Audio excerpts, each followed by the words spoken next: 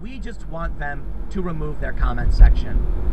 Oh boy, was that a mistake. Everything they did. I- will tell you what, man, look. You want to complain about Republicans or you think they're doing a good job, put that aside. Google. Hey everyone, welcome back to my channel. And today I want to explain to you guys a very strange situation that happened to me a few days ago while I was out driving my, my work car, my Ford Fusion. So as many of you already know, I drive for a living. Uh, I'm, I'm a courier. I've been doing this for 15 years. Um, I don't have a CDL, but I would consider myself a professional driver. I mean, I've been doing this for a very, very long time, and I do consider myself a pretty good driver. I mean, everybody makes mistakes, and stuff happens. we'll put it that way. So I'm out doing my route. So I'm driving along down a two-lane road that merges down to one lane, and I end up having a guy driving a 26 foot box truck, you know, a pretty large box truck. He ends up completely ignoring the merge warning signs and merges into the side of my car. so um, it could have been a lot worse, and frankly, I'm surprised it wasn't. But I was absolutely shocked that some guy driving a, a box truck, who clearly is a professional driver, literally completely didn't care that he was going to be driving into the side of my car. And just to give this a little bit more context, I'm going to show the video again once more right here. Sites Zero Hedge and the Federalist will no longer be able to generate revenue from any advertisements served by Google Ads. However, Google then came out shortly after the publication and said the Federalist was never demonetized. We just want them to remove their comment section. Oh boy, was that a mistake. Everything they did. I- will tell you what, man, look. You want to complain about Republicans or you think they're doing a good job, put that aside. Google. All right, so now that you've seen the video a second time, you can clearly see that this guy clearly merged into my lane and into my car. Now, I'm really amazed at how little damage was caused by this incident. Now, as you guys can see on the side of my car, everything looks, you know, more or less as it should be. This right here is all the damage I ended up with. And that is thankfully because of the fact that my whole mirror gets kicked forward. Now, you guys could hear the thunk in the video. And this right here is where that right there is where the back of his truck made contact, grabbed my mirror, and knocked it forward. Now, this right here is not a terribly big deal. So all things considered, that obviously could have gone way worse than it did. Now, I'm not too concerned about having a scratch on my car. That's not the only damage that this car with 235,000 miles has on it, but it definitely was the principle of the thing. and mostly because he ended up calling the cops on me. Guy hits me, blames me, and then calls the police on me for him hitting me. I know it sounds ridiculous, but that's exactly what happened. the guy came out of his truck, berated me, saying I don't know how to drive, proceeded to tell me he didn't hit my car, and then decided he was going to call the police on me. So my dash cam, of course, caught just about all of this. So what I'm going to do now is I'm going to bring the video up. I'm going to do a voiceover and explain to you exactly what happened step by step in this whole process and show you exactly what went down, at least from my perspective. All right, guys. So here we are at the uh, the dash cam footage. Um, I did have to make a little change in the corner here because the uh, date and time was reset. It wasn't accurate, so I just uh, edited over it and put the uh, the actual day that it took place. Um, so I'm just going to start the video here. I'm not going to play the audio because I had a podcast going in the background, which you, you don't need to hear all that. But so I, I'm heading into the town of Oconomowoc, which is uh, west Milwaukee. I, I drive this road five times a week. It's part of my regular route. It's 45 miles an hour, which you can you can see up there.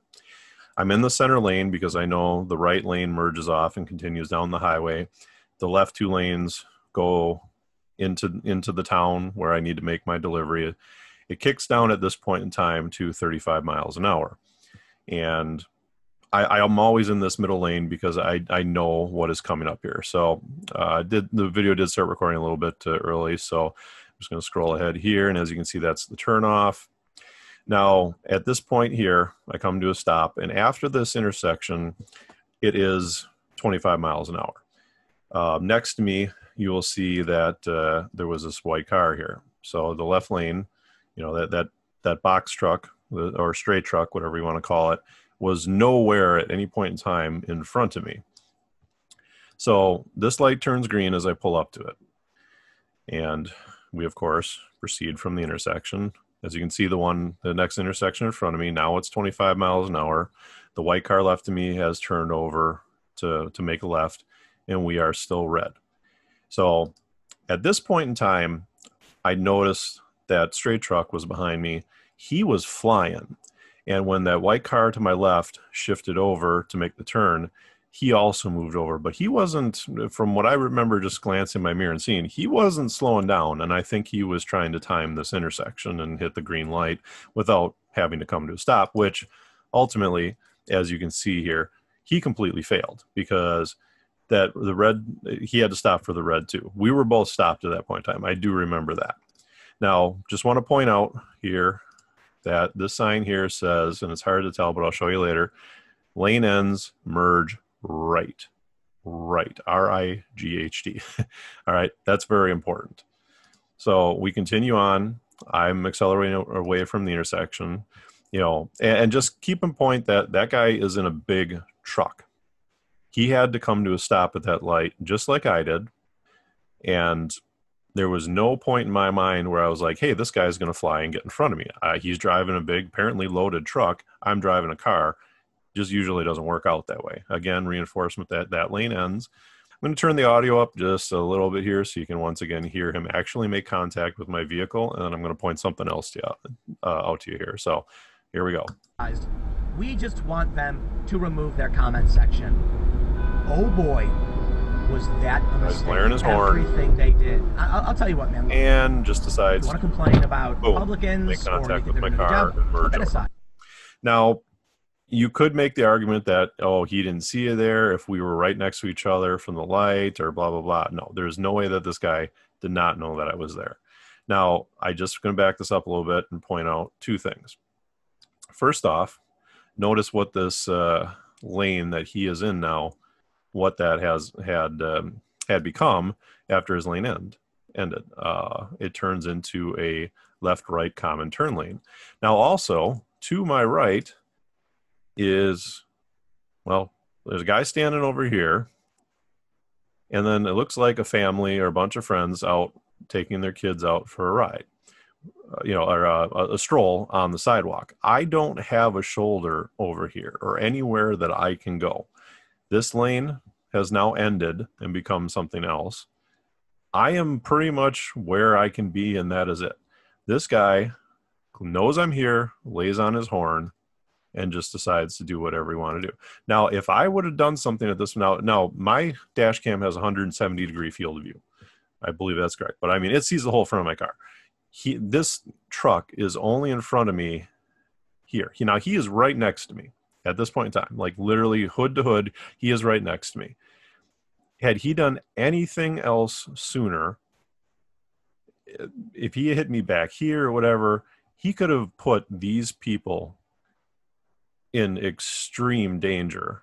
I, I, mean, imagine he had hit me on the side right here and sent my car off the road into these people. How how terrible that would have been. Okay, that I mean, a lot of people don't think about stuff like that, but I mean, a situation like this, that could have ended a lot worse. Now, granted, that's not what happened, but just just keep that in mind. I, I mean, there was nowhere for me to go here, and if he would have hit me, I could have creamed into those people. Not cool. Not cool at all. So, so as we've seen, this is the point where you know he he makes contact with my vehicle. Now he's driving in the middle again, decides that he's going to come over. Now he's going to ride the yellow line and then he just is slowing down here for what reason? I could assume it. Oh okay he's going to turn here and this is the spot that he's decided that you know he wants to stop and we'll address the situation or at least that's what i thought. So i follow him in he stops. So I'm, I would say a good ten feet away from the back from uh, from the back of his truck. Then he puts it in reverse, and then he stops. Okay, so um, this is where things become interesting. So um, I'm, I'm not going to play any of the audio because I left my radio on and you can't hear what's going on outside of the vehicle. But I'm just going to give you what my recollection of events here was. So, um, now point out that he's out of his truck and his truck is actually rolling forward. Now I did blur the guy because I, am just, you know, I, it, just blurring the guy, okay, for privacy issues. All right. I just, yeah.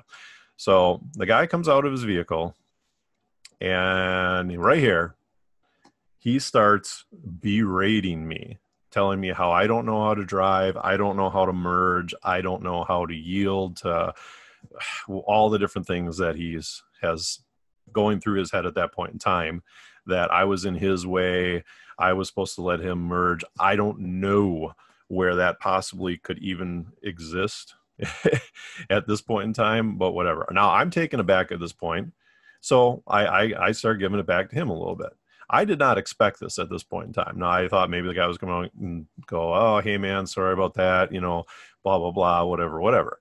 So I'm, uh, you know, telling him I drive this road every day. Your lane ends. I was in my lane. What are you doing? Blah blah blah, kind of sort of thing. So we draw back and forth a little bit. Now keep in mind his truck's still moving. That's the thing that I can't believe about.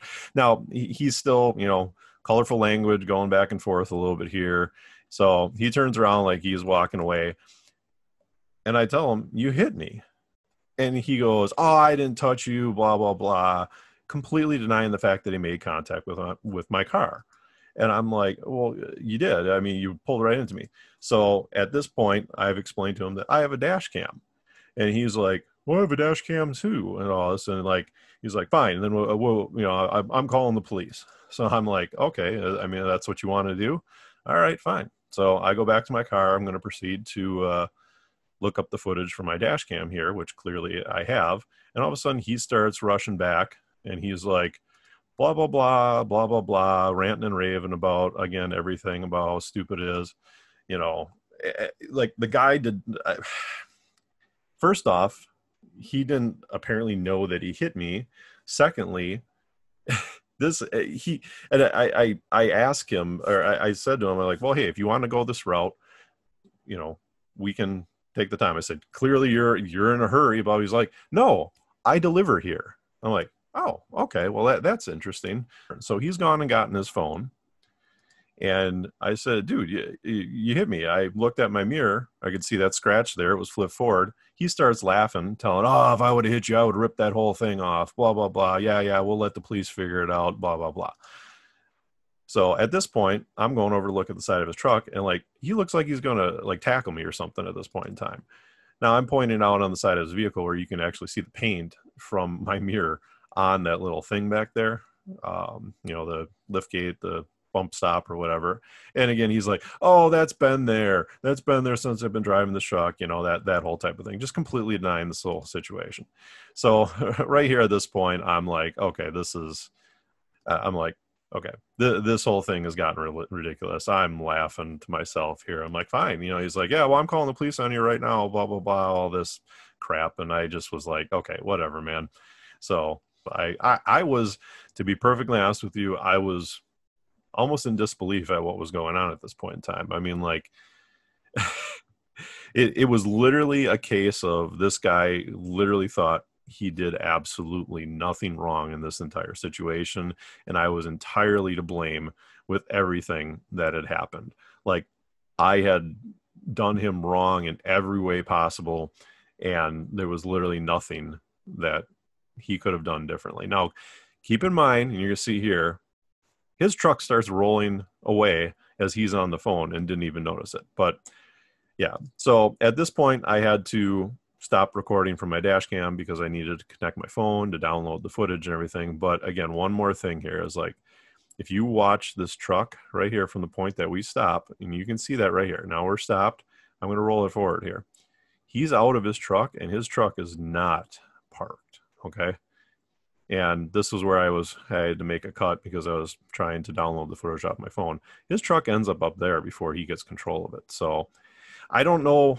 Again, I'm not trying to be mean to the guy, but I mean honestly, he really was a jerk to me the entire time, and there there was more to it uh, than this. But long story short was when the police got there, um, this guy runs right up to him and immediately starts John about how I had done him wrong and all this other stuff. The officer turns and looks at me. Most of the police are not stupid. They see stuff. They've seen things like this before. And usually the first person that starts to protest usually is the one that you got to pay a little more attention to. So the officer, just a short and sweet of it, the officer looks over at me, comes over by me to get my side of the story. I just tell him, hey, I, I got I got it all on dash cam. I let the guy, you know, I let the officer watch the footage he goes, okay, that's all I needed to see. He goes over, the guy keeps drawing with him. The officer actually gets to the point where he raises his voice with this guy and tells him, you know, that he saw the footage, he saw what happened, and basically nothing that he's saying made any sense. You know, so um, I I don't know. I, it's it's one of those things where it was almost so ridiculous. I, I actually couldn't believe it, but it ended up getting to a point where you know the officer told me that the damage on my vehicle was not reportable. So I, I, mean, I was basically at that point, anyways. But the thing was, is that um, this guy would not admit any fault. The the basically where we parted ways was that the guy got to the point where he would only say that we both were at fault. And I turned to the officer. And I said, "Hey, I, I've got a brother. I know how this stuff goes." And then he said, "Well, what do you want to do?" And I said, and I turned to the guy and I asked him. I said, "Do you have a CDL?" And he said, "Yes." And I told him that you know I wasn't going to let a scratch jeopardize his license in any way, shape, or form. It was just a scratch on my car, but I did tell him, you know, that from my perspective, I told him, but I'm only going to do this on the condition that you never ever do something like this again to anybody else on the road because he's got a big truck, he's got a CDL, he has a higher responsibility. Even if I was being a complete jerk to him or doing something completely wrong, it's his responsibility being a commercial driver and his license to do everything else in his, in his everything in his power to protect those people around him and keep them safe. And that was something he definitely did not do. So um, i want to just point out one other thing real quick before i drop out of this. All right so i'm here on google maps and i just want to show you because the video footage is not uh, great but this is the intersection where this kind of all started. I'm in Oconomowoc, again, like I said, which is just west of Milwaukee. Now, this is that intersection that uh, we left from. So that guy came barreling in in his truck from behind over there and into this lane. Now, I'm glad that this Google Google car is in this lane because you can see how this plays out.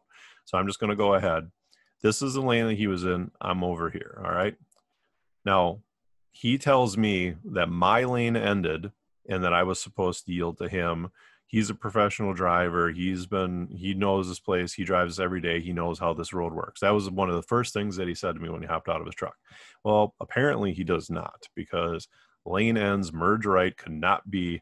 I, I mean, it literally cannot be any more clear than that. This over here, a little confusing. This super clear. Lane ends merge right and then you continue forward and whoa oh, what, what do you notice? The lane moves over to the right. You are supposed to merge right. Your lane ends merge right.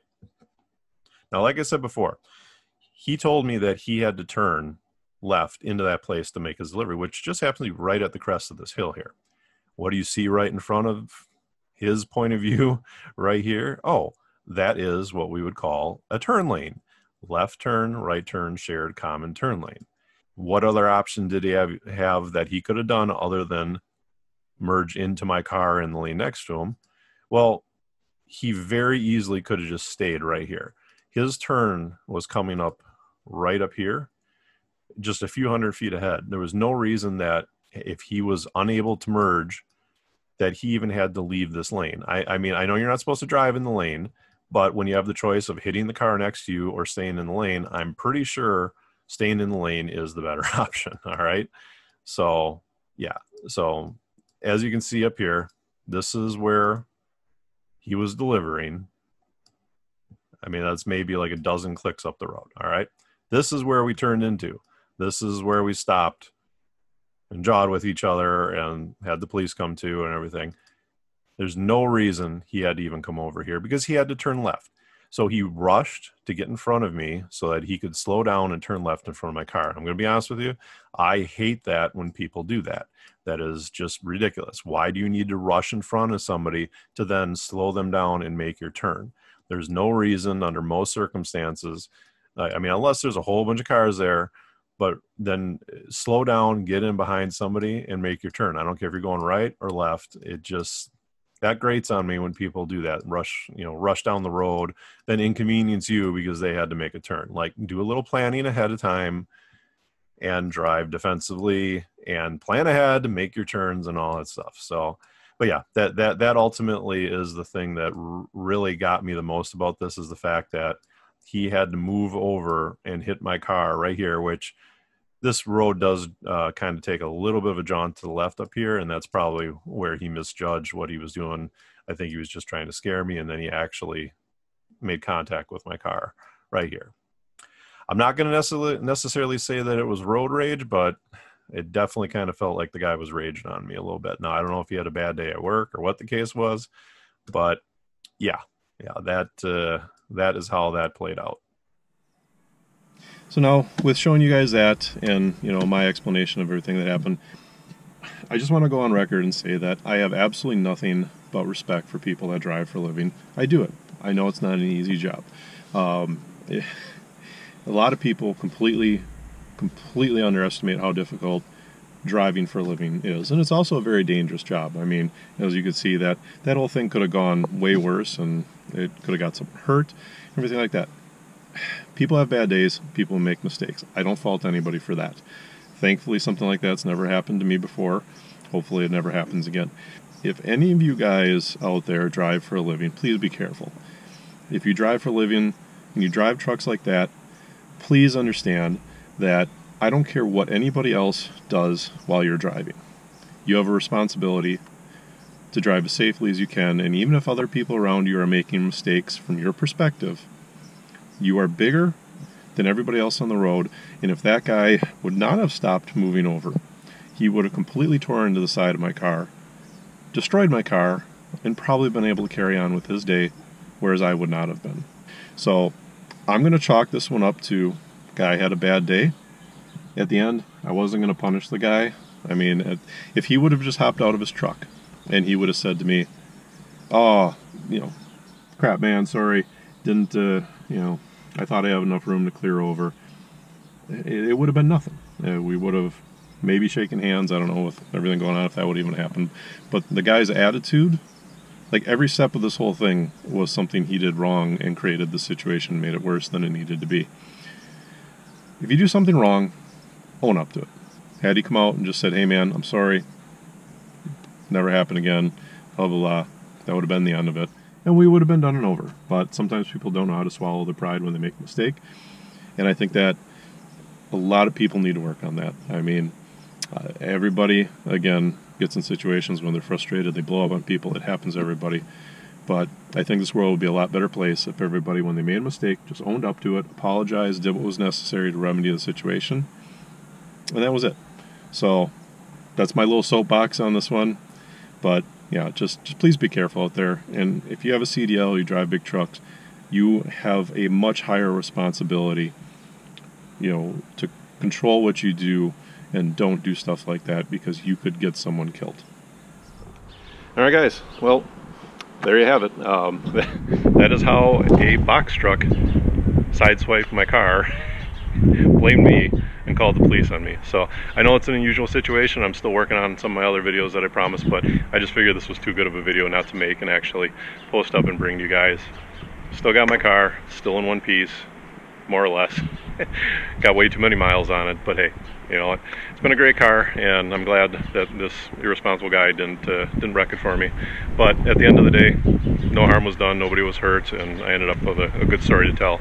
Oh, and also, everybody out there, get a dash cam because if I wouldn't have had this, it would have been my word against his.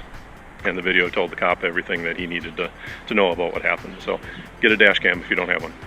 So I thank you guys for watching this, and uh, like, comment, subscribe, and I will see you guys in the next video.